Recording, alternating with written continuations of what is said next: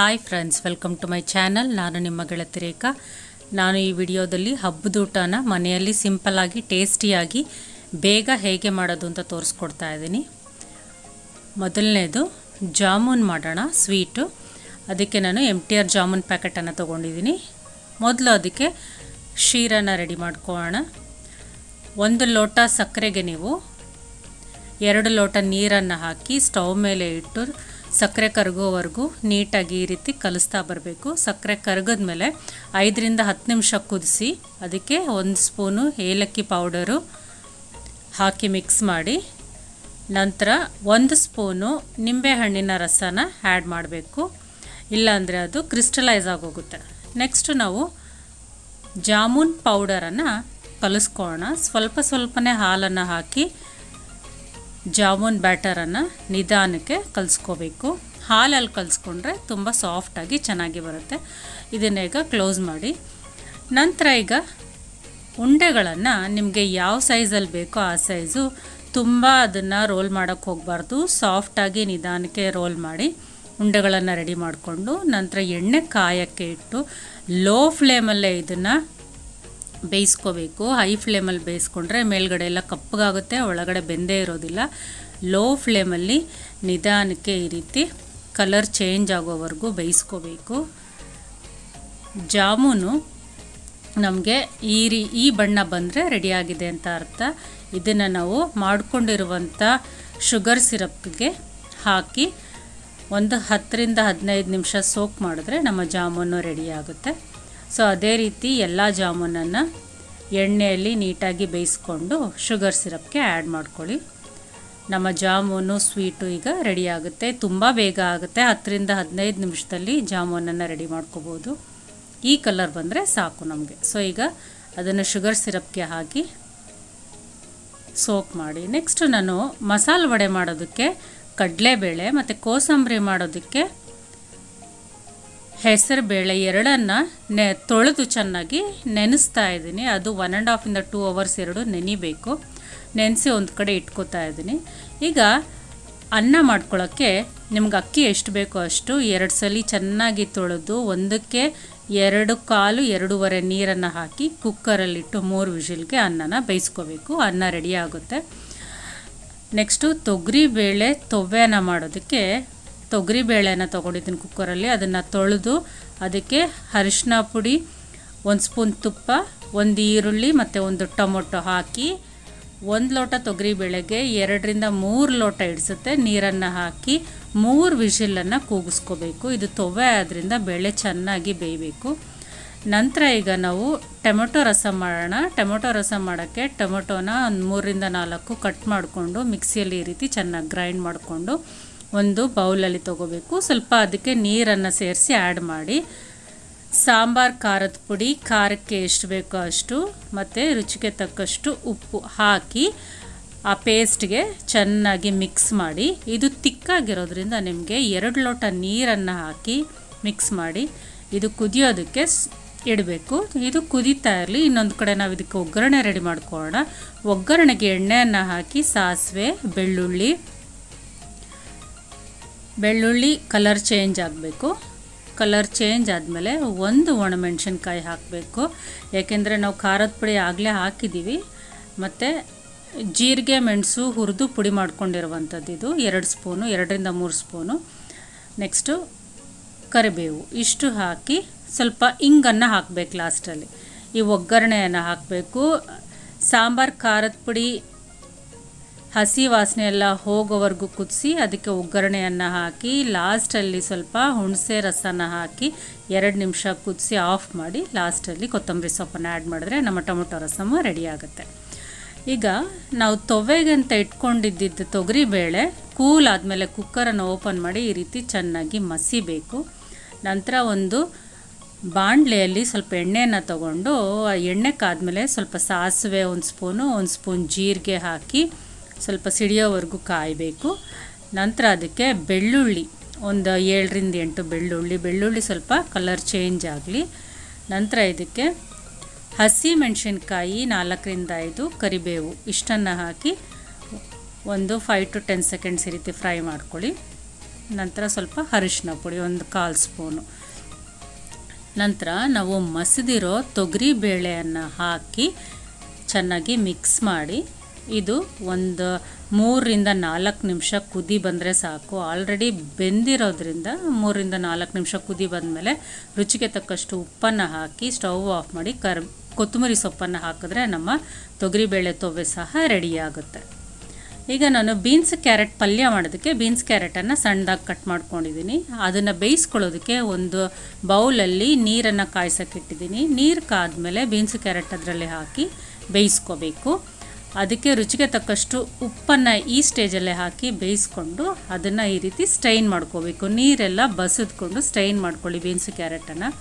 ಈಗ ಇದಕ್ಕೆ ಒಂದು ಒಗ್ಗರಣೆ ಹಾಕೋಣ. ಸ್ವಲ್ಪ ಬಾಣಲೆಯಲ್ಲಿ ಎಣ್ಣೆಯನ್ನು ಆ್ಯಡ್ ಮಾಡಿ, ಎಣ್ಣೆ ಕಾದ್ಮೇಲೆ ಸಾಸಿವೆ, ಬೆಳ್ಳುಳ್ಳಿ, ಹಸಿಮೆಣ್ಸಿನ್ಕಾಯಿ ನಿಮ್ಮ ಖಾರಕ್ಕೆ ಎಷ್ಟು ಬೇಕೋ ಅಷ್ಟು ಒಂದು ಈರುಳ್ಳಿ ಕಟ್ ಮಾಡ್ಕೊಂಡಿರೋದು. ಹಾಕಿ ಈರುಳ್ಳಿ ಚೆನ್ನಾಗಿ ಫ್ರೈ ಮಾಡ್ಕೊಳ್ಳಿ. ನಂತರ ಇದಕ್ಕೆ ಕರಿಬೇವು ಹಾಕ್ಬಿಟ್ಟು ನಾವು ಬೇಯಿಸ್ಕೊಂಡಿರುವಂಥ ಬೀನ್ಸು ಮತ್ತು ಕ್ಯಾರೆಟು. ಸ್ವಲ್ಪ ಅರಿಶಿನ ಪುಡಿಯನ್ನು ಹಾಕ್ಕೊಂಡಿದ್ದೀನಿ. ತುಂಬ ಒಳ್ಳೆಯದು ಆರೋಗ್ಯಕ್ಕೆ ಅಂತ. ನಂತರ ಬೀನ್ಸು, ಕ್ಯಾರೆಟು ಬೇಯಿಸಿರುವಂಥದ್ದು ಆ್ಯಡ್ ಮಾಡಿ ಒಂದು ನಿಮಿಷ ಚೆನ್ನಾಗಿ ಫ್ರೈ ಮಾಡ್ಕೊಳ್ಳಿ. ಫ್ರೈ ಮಾಡ್ಕೊಂಡಾದಮೇಲೆ ಲಾಸ್ಟಲ್ಲಿ ಕೊತ್ತಂಬರಿ ಸೊಪ್ಪನ್ನು ಆ್ಯಡ್ ಮಾಡಿ ಮಿಕ್ಸ್ ಮಾಡಿಕೊಂಡು ಆಫ್ ಮಾಡಿ. ಈಗ ನಮ್ಮ ಬೀನ್ಸ್ ಕ್ಯಾರೆಟ್ ಪಲ್ಯ ರೆಡಿ ಆಯಿತು. ಈಗ ನಾನು ಪುಳಿಯೋಗರೆಗೆ ಒಗ್ಗರಣೆಯನ್ನು ಮಾಡ್ಕೊತಾ ಇದ್ದೀನಿ. ಬಾಣಲಿಯಲ್ಲಿ ಎಣ್ಣೆ ತಗೊಂಡು ಎಣ್ಣೆ ಕಾದ್ಮೇಲೆ ಸಾಸಿವೆ ಕಡ್ಲೆಬೇಳೆ ಒಂದು ಸ್ಪೂನು, ಉದ್ದಿನ ಬೇಳೆ ಒಂದು ಸ್ಪೂನು. ಮತ್ತು ಇದು ಸ್ವಲ್ಪ ಕಲರ್ ಚೇಂಜ್ ಆಗಬೇಕು.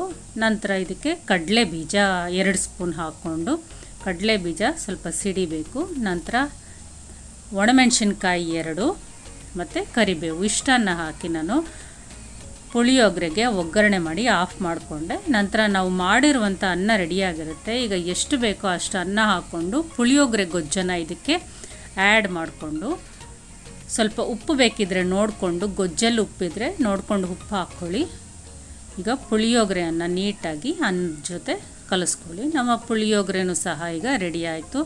ಇದು ನೆನೆದಷ್ಟು ನಮಗೆ ತುಂಬ ಚೆನ್ನಾಗಿರುತ್ತೆ ಟೇಸ್ಟ್ ಪುಳಿಯೋಗರೆ.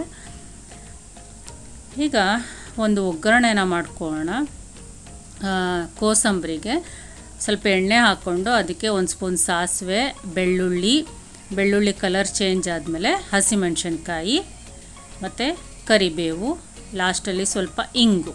ಇಷ್ಟನ್ನು ಹಾಕ್ಕೊಂಡು ಕೋಸಂಬರಿಗೆ ಒಗ್ಗರಣೆ ರೆಡಿ ಮಾಡ್ಕೊಂಡಾಯಿತು. ಈಗ ಕಡಲೆಬೇಳೆ ಅಲ್ಲ ಸ, ಹೆಸರುಬೇಳೆ, ಸಾರಿ, ಹೆಸರುಬೇಳೆ ನೆನೆದಾದ್ಮೇಲೆ ಅದನ್ನು ನೀರೆಲ್ಲ ತೆಗೆದ್ಬಿಟ್ಟು ಅದಕ್ಕೆ ಸೌತೆಕಾಯಿ ಸಣ್ಣದಾಗಿ ಕಟ್ ಮಾಡಿರೋಂಥದ್ದು ಆ್ಯಡ್ ಮಾಡ್ಕೊಳ್ಳಿ. ಮತ್ತು ಕ್ಯಾರೆಟ್ ತುರಿ, ಕೊತ್ತಂಬರಿ ಸೊಪ್ಪು, ಮತ್ತು ಈಗಷ್ಟೇ ಮಾಡ್ಕೊಂಡಿರುವಂಥ ಒಗ್ಗರಣೆಯನ್ನು ಹಾಕ್ಕೊಳ್ಳಿ ಚೆನ್ನಾಗಿ ಮಿಕ್ಸ್ ಮಾಡ್ಕೊಳ್ಳಿ. ಇದಕ್ಕೆ ಪೆಪ್ಪರ್ ಪೌಡರು ಮೆಣಸು, ಕಾಳು ಮೆಣಸಿನ ಪುಡಿ, ಮತ್ತು ಲೆಮನ್ ಜ್ಯೂಸು ಹಾಕ್ಕೊಂಡು ಚೆನ್ನಾಗಿ ಮಿಕ್ಸ್ ಮಾಡ್ಕೊಂಬಿಡಿ.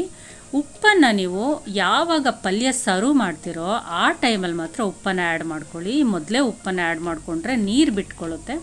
ಸೊ ಈಗ ಕಾಯಿ ತುರಿ ಹಾಕ್ಬೇಕು. ಇದಕ್ಕೆ ಲಾಸ್ಟಲ್ಲಿ ಸ್ವಲ್ಪ ಕಾಯಿ ತುರಿ ಹಾಕಿ ಮಿಕ್ಸ್ ಮಾಡಿಕೊಂಡ್ರೆ ನಮ್ಮ ಕೋಸಂಬರಿನೂ ಸಹ ರೆಡಿ ಆಯಿತು.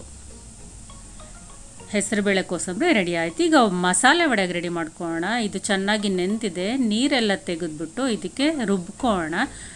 ಶುಂಠಿ ಒಂದು ಐದು ಇಂಚು, ಜೀರಿಗೆ ಸ್ವಲ್ಪ ಅರಿಶಿನ, ಒಣಮೆಣಸಿನ್ಕಾಯಿ, ಇಂಗು. ಒಣಮೆಣಸಿನ್ಕಾಯಿ ನಿಮ್ಮ ಖಾರಕ್ಕೆ ಎಷ್ಟು ಬೇಕೋ ಅಷ್ಟು ಹಾಕ್ಕೊಳ್ಳಿ ಇದನ್ನು ಒಂದು ಮಿಕ್ಸಿ ಜಾರ್ಗೆ ತೊಗೊಂಡು ನೆಂದಿರುವಂಥ ಕಡಲೆಬೇಳೆ ಸ್ವಲ್ಪ ತೊಗೊಂಡು, ಮೊದಲು ಖಾರನ ಸ್ವಲ್ಪ ರುಬ್ಕೊಂಬೋಣ ಇದಕ್ಕೆ ರುಚಿಗೆ ತಕ್ಕಷ್ಟು ಕಲ್ಲುಪ್ಪನ್ನು ಹಾಕ್ಕೊಂಡಿದ್ದೀನಿ. ಇದನ್ನು ಈ ರೀತಿ ತರ್ತರಿಯಾಗಿ ರುಬ್ಕೋಬೇಕು. ನಂತರ ಕೊನೆಗೆ ಸ್ವಲ್ಪ ಕಡಲೆಬೇಳೆನ ಹಾಗೆ ಉಳಿಸ್ಕೊಂಡು ಅದನ್ನು ಹಾಕಿ ನೀಟಾಗಿ ಈ ರೀತಿ ಕಲಿಸ್ಕೊಳ್ಳಿ. ಇದು ಸ್ವಲ್ಪ ತರಿ ತರಿಯಾಗಿದ್ರೇ ಚೆನ್ನ ಈಗ ಇದಕ್ಕೆ ಸಣ್ಣದಾಗಿ ಕಟ್ ಮಾಡಿರ್ತಕ್ಕಂಥ ಈರುಳ್ಳಿ. ಈರುಳ್ಳಿ ಜಾಸ್ತಿ ಹಾಕಿದ್ರೆ ಚೆನ್ನಾಗಿರುತ್ತೆ. ಕೊತ್ತಂಬರಿ ಸೊಪ್ಪು ಕಟ್ ಮಾಡಿರೋ ಅಂಥದ್ದು ಕರಿಬೇವು, ಒಂದೇ ಒಂದು ಹಸಿಮೆಣ್ಸಿನ್ಕಾಯಿ ಸಣ್ಣದಾಗಿ ಕಟ್ ಮಾಡಿರೋ ಅಂಥದ್ದು ಇದು ಕರಿಬೇವು ಸಣ್ಣದಾಗಿ ಕಟ್ ಮಾಡಿರೋ ಅಂಥದ್ದು ಇಷ್ಟನ್ನು ಹಾಕ್ಕೊಳ್ಳಿ ಮತ್ತು ಸಬ್ಸಿಗೆ ಸೊಪ್ಪು. ಸಬ್ಸಿಗೆ ಸೊಪ್ಪು ಇದಕ್ಕೆ ತುಂಬ ಒಳ್ಳೆ ಸ್ಮೆಲ್ಲು, ಟೇಸ್ಟು ಕೊಡುತ್ತೆ. ಮಸಾಲೆ ವಡೆಗೆ ಸಬ್ಸಿಗೆ ಸೊಪ್ಪನ್ನು ಸಹ ಸ್ವಲ್ಪ ತೊಳೆದು, ಇದೆಲ್ಲ ತೊಳೆದು ಸಣ್ಣದಾಗಿ ಕಟ್ ಮಾಡ್ಕೊಂಡಿದ್ದೀನಿ. ಇದನ್ನು ಈಗ ಚೆನ್ನಾಗಿ ಮಿಕ್ಸ್ ಮಾಡ್ಕೊಳ್ಳಿ. ಮಿಕ್ಸ್ ಮಾಡ್ಕೊಂಡಾದಮೇಲೆ ವಡೆಗೆ ನಮ್ಮ ಬ್ಯಾಟರ್ ರೆಡಿಯಾಗಿದೆ ಇದನ್ನು ಸಣ್ಣ ಸಣ್ಣ ಉಂಡೆಗಳ ರೀತಿ ಯಾವ ಸೈಜಲ್ಲಿ ಬೇಕೋ ಆ ಸೈಜು ಮಾಡಿ ರೆಡಿಯಾಗಿ ಇಟ್ಕೊಳ್ಳಿ ಮಸಾಲೆ ವಡೆ ಹಾಕೋದಕ್ಕೆ. ಸೊ ಈ ರೀತಿ ನಂತರ ಈಗ ನಾವು ಎಣ್ಣೆಯನ್ನು ಕಾಯೋದಕ್ಕೆ ಇಟ್ಟಿದ್ದೀವಿ. ಈಗ ವಡೆಯನ್ನು ಈ ರೀತಿ ಫ್ಲ್ಯಾಟಾಗಿ ತಟ್ಟಿ ಕಾದಿರುವಂಥ ಎಣ್ಣೆಯಲ್ಲಿ ಬಿಡಬೇಕು. ಇದು ಒಂದೂವರೆಯಿಂದ ಎರಡು ಗಂಟೆ ಒಳಗಡೆ ನೆನಿಬೇಕು. ತುಂಬ ನೆನೆಸ್ಬೇಡಿ ಕಡಲೆಬೇಳೆನ. ಇಲ್ಲ ಕ್ರಿಸ್ಪಿಯಾಗಿ ಬರೋದಿಲ್ಲ. ಜಾಸ್ತಿ ಹೊತ್ತು ನೆನೆಸೋದು ಬೇಡ. ನೀವು ಹನ್ನೆರಡು ಗಂಟೆಗೆ ಮಸಾಲೆ ವಡೆ ಸುಡಿ ಸುಡಬೇಕು ಅಂತಂದರೆ ಹತ್ತು ಗಂಟೆಗೆ ನೆನೆಸಿದ್ರೆ ಸಾಕು. ಸೊ ಈಗ ಮಸಾಲೆ ವಡಿಯನ್ನು ಒಂದು ಒಂದು ಕಡೆ ಎರಡು ನಿಮಿಷ ಈ ರೀತಿ ಫ್ರೈ ಮಾಡ್ಕೊಳ್ಳಿ. ನಂತರ ಅದನ್ನು ತಿರುಗಿಸಿ ಇನ್ನೊಂದೆರಡು ನಿಮಿಷ ಫ್ರೈ ಮಾಡ್ಕೊಳ್ಳಿ. ಕಲರ್ ನಮಗೆ ಚೇಂಜ್ ಆಗಬೇಕು. ಈರುಳ್ಳಿ ಕಲರ್ ಎಲ್ಲ ಚೇಂಜ್ ಆಗುತ್ತೆ. ಆವಾಗ ನಮಗೆ ಬೆಂದಿದೆ ಅಂತ ಗೊತ್ತಾಗುತ್ತೆ. ಮೇಲ್ಗಡೆ ಇರೋ ಬಬಲ್ಸ್ ಎಲ್ಲ ಪೂರ್ತಿ ಕಡಿಮೆ ಆಗುತ್ತೆ. ಆವಾಗ ಮಸಾಲೆ ವಡೆ ಬೆಂದಿದೆ ಅಂತ ನಮಗೆ ಗೊತ್ತಾಗುತ್ತೆ. ನೋಡಿ, ಮೇಲ್ಗಡೆ ಬಬಲ್ಸ್ ಎಲ್ಲ ಕಡಿಮೆ ಆಗ್ತಾ ಇದೆ. ಅದು ಪೂರ್ತಿ ಕಡಿಮೆ ಆದಮೇಲೆ ನಮಗೆ ಮಸಾಲೆ ವಡೆ ಕಂಪ್ಲೀಟಾಗಿ ಬೆಂದಿದೆ ಅಂತ ಅರ್ಥ. ಈ ಕಲರಲ್ಲಿ ಬರಬೇಕು. ಈಗ ನಾನು ಅದನ್ನು ಟಿಶ್ಯೂ ಪೇಪರಲ್ಲಿ ತಗೋತಾ ಇದ್ದೀನಿ. ನಮ್ಮ ಮಸಾಲ ವಡೆನೂ ಸಹ ರೆಡಿ ಆಯಿತು. ಈಗ ಇದೇ ಎಣ್ಣೆಗೆ ನಾನು ಸ್ವಲ್ಪ ಹಪ್ಪಳನ ಕರ್ಕೋತಾ ಇದ್ದೀನಿ ಊಟಕ್ಕೆ. ಊಟದಲ್ಲಿ ಹಪ್ಪಳ ಇದ್ರೇ ಚೆನ್ನಾಗಿರುತ್ತೆ. ಸೊ, ಒಂದು ನಾಲ್ಕೈದು ಹಪ್ಪಳ ಊಟಕ್ಕೆ ಎಷ್ಟು ಬೇಕೋ ಅಷ್ಟು, ಎಷ್ಟು ಜನ ಇದ್ದಾರೋ ಅಷ್ಟು ಹಪ್ಪಳನ ರೆಡಿ ಮಾಡ್ಕೋತಾ ಇದ್ದೀನಿ. ಸೊ ನೀವು ತರಕಾರಿ ಎಲ್ಲನ ಹಿಂದಿನ ದಿನನೇ ಕಟ್ ಮಾಡಿ ಫ್ರಿಜ್ಜಲ್ಲಿ ಇಟ್ಕೊಂಡ್ರೆ ಅಡುಗೆ ತುಂಬ ಬೇಗ ಆಗುತ್ತೆ. ತರಕಾರಿ ಕಟ್ ಮಾಡೋದು ಇದ್ದೇ ಲೇಟ್ ಆಗೋದು. ನೀವು ಮುಂಚೆನೇ ತರಕಾರಿ ಕಟ್ ಮಾಡ್ಕೊಳ್ಳೋದು, ಮತ್ತು ಏನೇನು ಬೇಕು ಎಲ್ಲ ಮುಂಚೆನೇ ನೀವು ಐಡಿಯಾ ಮಾಡಿಕೊಂಡ್ರೆ ಬೇಗ ಅಡುಗೆ ಆಗುತ್ತೆ. ಸೊ ಈಗ ನನ್ನ ಹಬ್ಬದ ಊಟ ಸೌತ್ ಇಂಡಿಯನ್ ತಾಲಿ ರೆಡಿ ಆಯಿತು. ನೋಡಿ ಏನೆಲ್ಲ ಮಾಡಿದ್ದೀನಿ. ಅಂತ ಮಸಾಲ ವಡೆ, ಪುಳಿಯೋಗರೆ ವೈಟ್ ರೈಸು ತೊಗರಿಬೇಳೆ, ತೊವ್ವೆ ರಸಮ್ಮು ಜಾಮೂನು ಮಜ್ಜಿಗೆ, ಕೋಸಂಬರಿ ಹಪ್ಪಳ ಬೀನ್ಸ್, ಕ್ಯಾರೆಟ್ ಪಲ್ಯ. ಇಷ್ಟು ನನ್ನ ಹಬ್ಬದೂಟ ರೆಡಿಯಾಗಿದೆ. ಇದು ನಾನು ಒನ್ ಅವರಲ್ಲಿ ರೆಡಿ ಮಾಡಿದ್ದೀನಿ. ಒಬ್ಬಳೇ ರೆಡಿ ಮಾಡಿರೋದು, ಯಾರದೇ ಸಹಾಯ ಇಲ್ಲದೆ ನನ್ನ ದೀಪಾವಳಿ ಅಡುಗೆ ರೆಡಿಯಾಗಿದೆ. ಮಸಾಲ ವಡೆ, ಪುಳಿಯೋಗರೆ ವೈಟ್ ರೈಸು ಇದು ಬೇಳೆಕಟ್ಟು, ಟೊಮೊಟೊ ರಸಮ್ಮು, ಬೀನ್ಸ್, ಕ್ಯಾರೆಟ್ ಪಲ್ಯ, ಕೋಸಂಬರಿ ಜಾಮೂನು ಹಪ್ಪಳ ಮಜ್ಜಿಗೆ, ಮತ್ತು ಉಪ್ಪು. ಸೊ ಈಗ ಬಾಳೆ ಎಲೆಗೆ ಬಡಿಸೋಣ. ಮೊದಲು ಉಪ್ಪು, ನಂತರ ಉಪ್ಪಿನಕಾಯಿ, ನಂತರ ಕೋಸಂಬರಿ, ನಂತರ ಬೀನ್ಸ್, ಕ್ಯಾರೆಟ್ ಪಲ್ಯ ಹಪ್ಪಳ ವಡೆ, ಮಸಾಲ ವಡೆ, ಪುಳಿಯೋಗರೆ, ವೈಟ್ ರೈಸು, ತೊಗರಿಬೇಳೆ ತೊವ್ವೆ, ಟೊಮೊಟೊ ರಸಮ್ಮು, ತೊವ್ವೆಗೆ ಸ್ವಲ್ಪ ತುಪ್ಪ ಮತ್ತು ಮೊಸರು, ನಮ್ಮ ಸ್ವೀಟ್ ಜಾಮೂನು, ಊಟ ಎಲ್ಲ ಆದಮೇಲೆ ಕೊನೆಗೆ ಬಾಳೆಹಣ್ಣು. ನಮ್ಮ ಹಬ್ಬದ ಊಟ ರೆಡಿಯಾಗಿದೆ. ನೀವು ಸಹ ಮನೆಯಲ್ಲಿ ಟ್ರೈ ಮಾಡಿ. ಹಬ್ಬದ ಊಟ ಹೇಗೆ ಬಂತು ಅಂತ ಕಮೆಂಟಲ್ಲಿ ಖಂಡಿತವಾಗ್ಲೂ ತಿಳಿಸಿ. ಎಷ್ಟು ಸಿಂಪಲ್ಲಾಗಿ ಎಷ್ಟು ಬೇಗ ಹಬ್ಬದ ಊಟನ ಎಷ್ಟು ಈಸಿಯಾಗಿ ರೆಡಿ ಮಾಡಿದೆ ನೋಡಿದ್ರಲ್ವ? ನನ್ನ ಈ ವಿಡಿಯೋ ನಿಮಗೆ ಇಷ್ಟ ಆಗಿದರೆ ನೀವು ಸಹ ಈ ಅಡುಗೆನ ಟ್ರೈ ಮಾಡಿ ಹೇಗೆ ಬಂತು ಅಂತ ಕಮೆಂಟಲ್ಲಿ ತಿಳಿಸಿ. ನನ್ನ ಚಾನಲ್ಗೆ ಯಾರಿನ್ನೂ ಸಬ್ಸ್ಕ್ರೈಬ್ ಮಾಡಿಲ್ಲ, ಪ್ಲೀಸ್ ಸಬ್ಸ್ಕ್ರೈಬ್ ಮಾಡ್ಕೊಳ್ಳಿ. ಪಕ್ಕದಲ್ಲಿರೋ ಬೆಲ್ ಬಟನ್ನ ಕ್ಲಿಕ್ ಮಾಡಿ ಆಲನ್ನು ಸೆಲೆಕ್ಟ್ ಮಾಡಿ. ನಾನು ಅಪ್ಲೋಡ್ ಮಾಡೋ ವಿಡಿಯೋಸ್ ನೋಟಿಫಿಕೇಷನ್ಸ್ ಎಲ್ಲ ನಿಮಗೆ ತಲುಪುತ್ತೆ. ಎಲ್ಲರಿಗೂ ದೀಪಾವಳಿ ಹಬ್ಬದ ಆರ್ಥಿಕ ಶುಭಾಶಯಗಳು. Thank you for watching my video bye take care